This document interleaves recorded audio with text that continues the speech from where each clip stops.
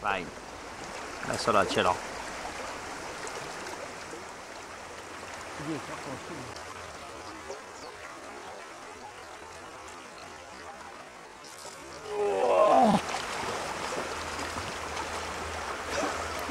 Perfetto.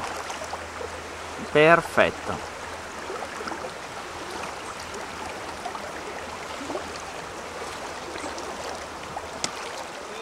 L'ho intervista appena prima. Adesso vediamo come siamo tra la scuola.